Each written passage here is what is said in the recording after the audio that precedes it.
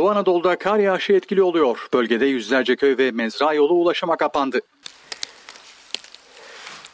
Kar kalınlığı kent merkezinde 50 santimi, yüksek kesimlerde ise yaklaşık 1,5 metreyi buldu.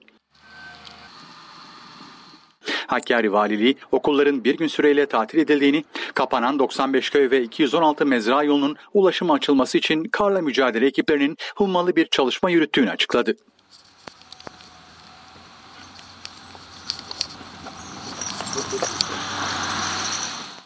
Doğu Anadolu bölgesinin büyük bir bölümünü etkisi altına alan kar yağışı Van Bahçesaray yolunun da kapanmasına neden oldu.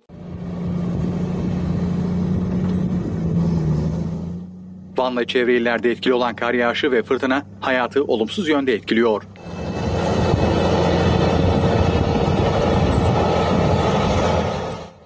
Karayolları ekipleri yoğun fırtınadan dolayı çalışmalarına ara verirken sürücülerin yola çıkmamalarını istediler.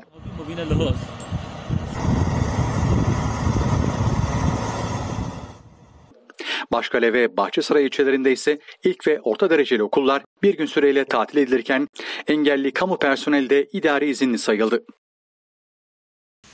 Muş'ta da kar yağışı ve tipi etkili oluyor.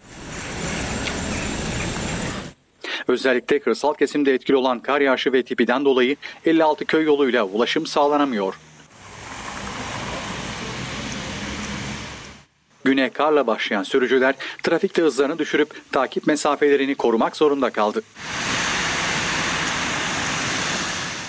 İşe giden vatandaşlarsa araçların üzerinde bulunan karları temizlemeye başladı. İç Anadolu'da da kar var. Yozgatlı öğrenciler okullarına, çalışanlar da mesailerine kar yağışı altında gitti.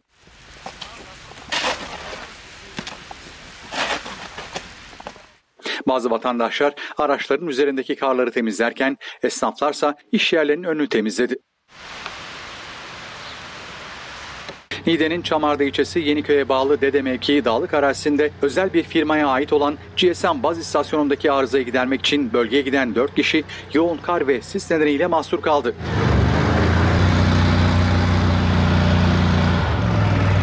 Durumun yetkililere bildirilmesi üzerine olay yerine afet ekipleri sevk edildi ve mahsur kalan vatandaşları kurtardı.